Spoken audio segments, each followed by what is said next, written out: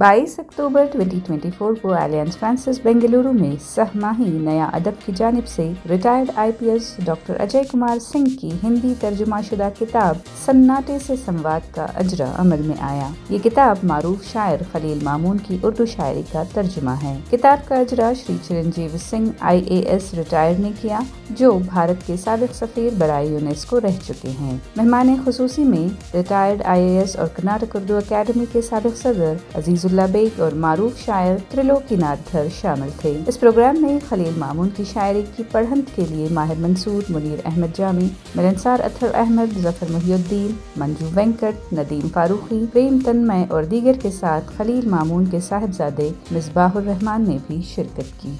बड़ी मुसरत की बात है कि खलील मामून साहब की किताब का हिंदी में तर्जुमा आज इसका रस्मी हुआ है।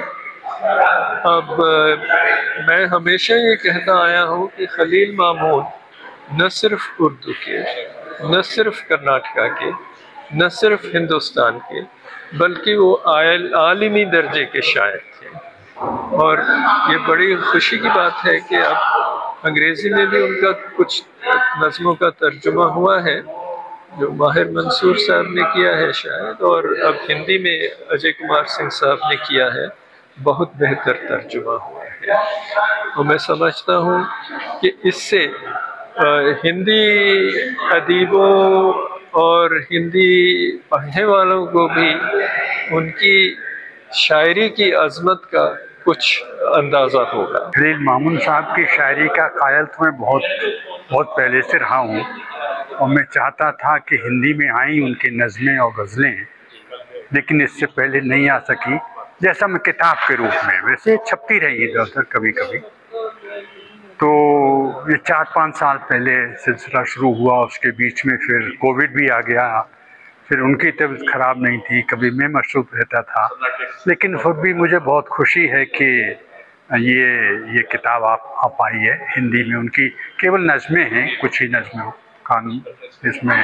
ट्रांसलेशन कहना भी इसको मुश्किल ही है, अनुवाद कहना, क्योंकि उर्दू को देवनागरी में लिख के और फिर उसको हमने सफ़ाई की है, साफ़ किया है उनके साथ बैठ के। तो मैं मुश्किल तो नहीं कहूँगा, लेकिन मुझे बहुत अच्छा लगा वो काम करने में और ये छप पाई, इसकी मुझे बड़ी खुशी। हमारी ये कोशिश होगी कि उनके कलाम को हम बिल्कुल क्रोनोलॉजिकल ऑर्डर में अलग अलग वॉल्यूम्स में हम उसको मंजर आम पर लाएँ।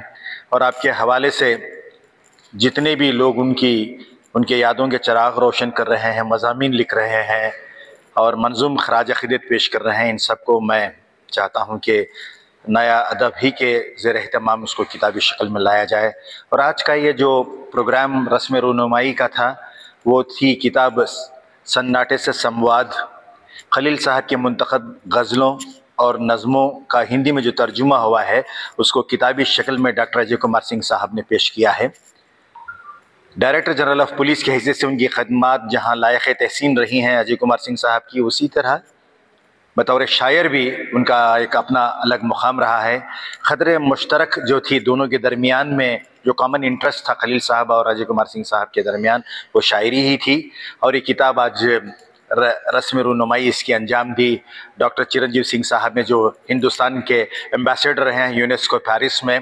और जिस जगह पे मैं आप से ये गुफ्तु कर रहा हूँ आलियंस फ्रांस से। इसके वो तकरीबन तेरह साल सदर रहे हैं। अब मौजूदा सफ़र हमारे दोस्त जफ़र मोहुद्दीन, उन्होंने यहाँ के ऑडिटोरियम को उन्हीं के नाम से उनकी खिदमत का इतराफ़ करते हुए मनसूब किया है।